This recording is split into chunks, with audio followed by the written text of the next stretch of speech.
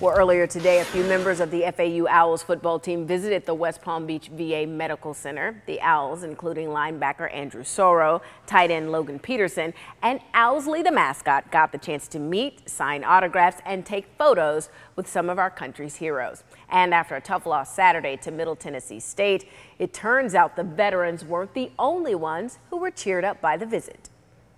You know, we had meetings this morning to recap the game, and it was it was a tough meeting, but it's cool to come out here and just release some stress and interact with all these great people and be able to just take your mind off football. Yeah, we, uh, some asked us if we had time with our class schedule and stuff, and all of us we volunteered to come out here and just serve the community and do what we can.